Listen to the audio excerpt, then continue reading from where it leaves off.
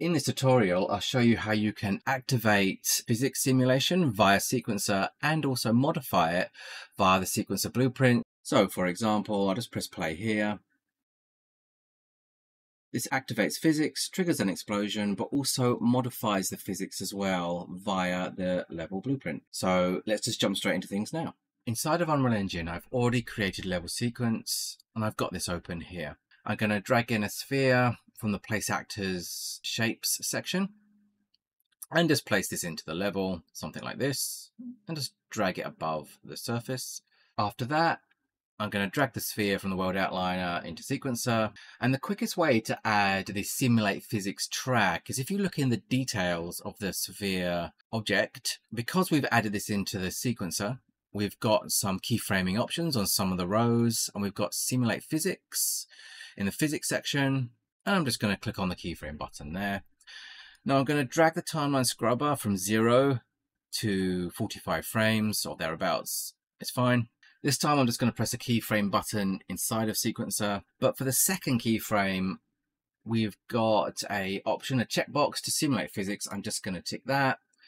And now from that keyframe onwards, it will be simulating physics. Now there are a couple of other things we need to do before this will work. The first thing is we've got a transform track here and this will conflict with the physics when it starts simulating. So we either need to just delete it, we can just press delete with it selected, or if you want to keep your transform track because you may have some keyframing before the physics happens, we can, at the point of the timeline scrubber and the point that physics kicks in, we can right click, edit, trim section to the right, so from 45 frames onwards, in this case, the transform track will no longer have any effect. The second thing we need to check is make sure this sphere is movable. So in its details panel at the top, we've got mobility, static, stationary, and movable. Make sure this is set to movable. What you might find is that when you delete the transform track, it changes from movable to static. So even if it was movable to start with, it might go back to static. And now that we've done this, we can actually test it. So to test it, we do need to make sure that the level is in simulation. So at the top, we can start simulating the game and then we can press play. And there you go. So let's just stop the simulation. So as you can see, that is pretty straightforward. The sphere isn't doing much. I mean, if it was on a slope or something like that, it would start rolling around. Now let's just say you want to actually add some movement into this sphere from the moment that physics is activated. There are a couple of different ways you can do this. One of them is you can actually just add some keyframes into the transform track. So you could maybe at frame 43 or 44 even, just before physics kicks in, you could keyframe a position. And then at 45, you could keyframe another position. So you'd have some movement. That's fine. You can do it that way. What I actually find is better and gives me more control is actually connect this to the sequencer blueprint. To do that, it's pretty straightforward. All we need to do is in the sphere track, click on plus, go to event, trigger, then still at 45 frames, in this new events track that we've just added, just click on the new keyframe button now to connect this event to the sequencer blueprint, we just right click on that keyframe, the one that we've just added, go to properties, and where it says endpoint and unbound, just click on create new endpoint. I'm just going to bring the level sequence blueprint on screen.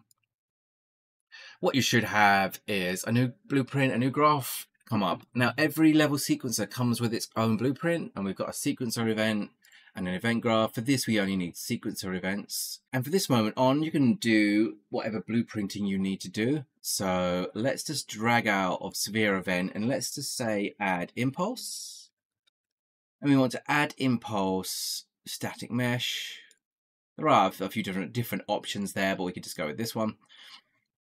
And then it needs a target, which is the sphere. So let's just connect the sphere to the target. And now all we need to do is just put some values into the impulse. So I'm just going to have a look at the sphere. I'm going to go in the green. So that's the Y direction. Depending on the size and the weight of your object, this needs to be fairly high. So I'm going to put 50,000 to start with and let's compile and save.